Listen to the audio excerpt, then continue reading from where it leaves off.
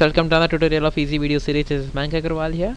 And in this tutorial I'm going to show you how to sort a large number of PPTs or presentation files on the basis of number of slides uh, friends see I have a lot of PPT files in this folders. Okay around there are 85 of them. Huge number. Okay for example if I want to sort these files on the basis of number of slides you know the more the slide the longer would be the PPT one thing is you can sort by size but that's not always give the correct sorting. So in order to sort the number of slides basically first come to the view options. Okay select the details. Okay select this option details. So see now you get name date modified type size. On depending on your PC you might have some more also. Okay so right click on this anywhere on this okay on any of these select more. Okay there are so many details here. Directly come down to S. There would be one with the slides. Say this.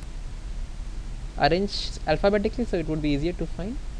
So you can select say this number of slides. Make it ticked and click ok. Okay so now when you see this you have the number of slides. Now for example let me arrange by name. So see this has 21 slides this has 26 this has 44 blah blah blah. So if you want to sort on the number of slides ascending or descending by default would be ascending. See one one i don't know why the number of slides are not being displayed here.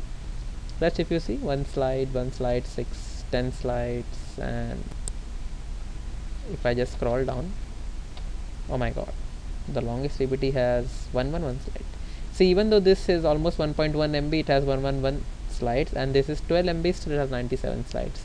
So depending on the animation also the size might increase but does not necessarily signify that it is having large number of slides. So okay. So thank you for watching the tutorial.